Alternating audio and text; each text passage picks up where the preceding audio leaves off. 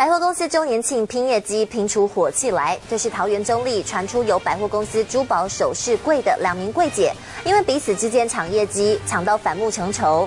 其中一个人的弟弟就为了帮姐姐出气，跑去泼对方油漆。这一情形，我们要立刻连线给记者林威凡。威凡早。好，主播各位观众，从画面上呢，我们可以看到一名戴着安全帽还有口罩，那穿着厚重帽 T 的男子呢，他从监视镜头前面鬼鬼祟祟的跑过去哦，那可以看出来他是神色有些慌张，行迹是相当的可疑，因为呢，他就是涉嫌往柜姐身上泼洒油漆的男子。那我们来听听稍早中立副分局长李继平的访问。这个初步了解啊，这是因为啊，这个呃。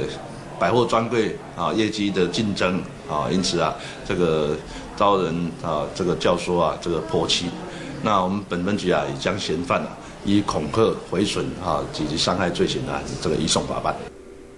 我们可以从镜头上看到呢，当事人呢，不论是车子啊，或者是脸啊、手啊、外套等等，全身上下几乎呢都是被泼洒了红漆哦。那根据警方的调查呢，这两位柜姐呢，他们其实是同一间百货公司的员工哦。那双方呢，因为周年庆的竞争压力、业绩的压力呢，曾经发生互抢客人的状况，那也因此反目成仇，那才会发生这样子的泼漆的一起案件哦。以上是目前最新消息，主播。